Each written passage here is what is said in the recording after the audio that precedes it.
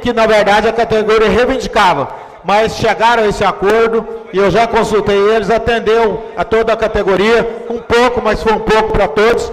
Então, eu me dou por satisfeito também na questão de estar tá votando hoje esse plano de carreira, é, é, uma conquista da Polícia Civil, com certeza muito merecida.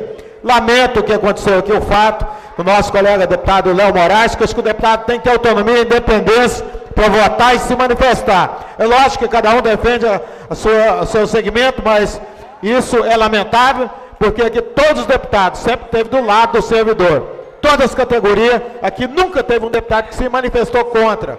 Mas eu tenho certeza que isso é um desentendimento, com os ânimos exaltados, cansado pessoal, mas eu espero que vocês não levem essa impressão de nenhum deputado, porque aqui todos os deputados são favoráveis a, a defender qual, todas as categorias de servidores. Chega aqui um projeto, todos os deputados querem votar favorável.